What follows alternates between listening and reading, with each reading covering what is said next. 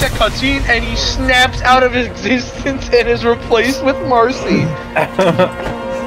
oh my god, this is